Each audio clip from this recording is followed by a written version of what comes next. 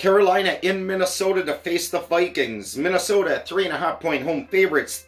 Carolina, the Panthers, they're 4 0 against the spread as a road dog, and 4 0 their last four games overall against the spread.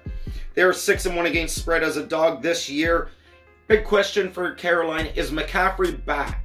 I doubt it, but it's something to watch out for because there is a chance, and that will change my outcome on this game most likely. The underdog is 5 and 1 against spread versus Mini is 33 and 18 against spread at home since 2014.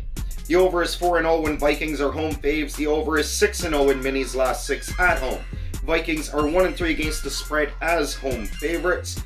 Teddy Bridgewater 21 and 5 against spread as a dog in his career and is 33 and 12 against spread overall in his career. He's only failed to cover in back-to-back games against the spread twice in his career and he's never gone 3 weeks in a row without covering the spread.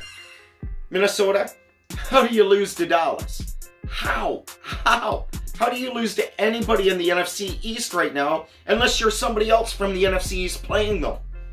Carolina on the road. I'll take them to cover the three and a half. If McCaffrey's in, I like the Panthers to win the game. If not, I think Minnesota will do enough at home to get the victory. So keep an eye out for McCaffrey in that one.